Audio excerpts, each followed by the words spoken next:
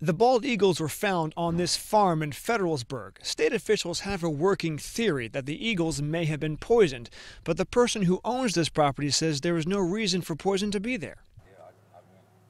Bob Edgel and Glenn Breeder, within a few hours of each other on Saturday, found four dead bald eagles in this farm field.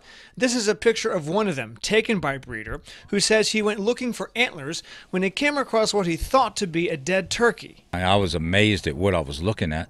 I never seen one up that close, you know, dead or alive. Both men called Maryland Natural Resources Police, who ended up finding nine more dead bald eagles, three of them mature, meaning they had the distinctive white feathered head as seen in this picture taken by a natural resources officer.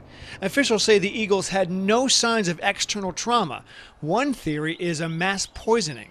It happens occasionally where uh, someone will put out poison to get rid of rodents, either a homeowner or a farmer and you know eagles are attracted by dead animals.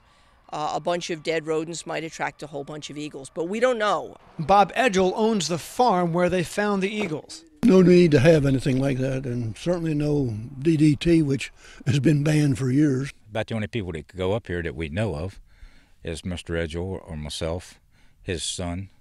You know we hunt over here. There's people don't wander around up there. Maryland took bald eagles off of its endangered species list in 2010, but they're still protected under federal law. So killing, harming, or disturbing bald eagles means a fine of at least $100,000 and or a year in jail. State and federal wildlife groups are offering a $10,000 reward for information. Foul play or not, one of Maryland's bald eagle experts says 13 dead eagles in one spot is historic for Maryland. It's the largest number of dead birds found at one location on a single day that I know of.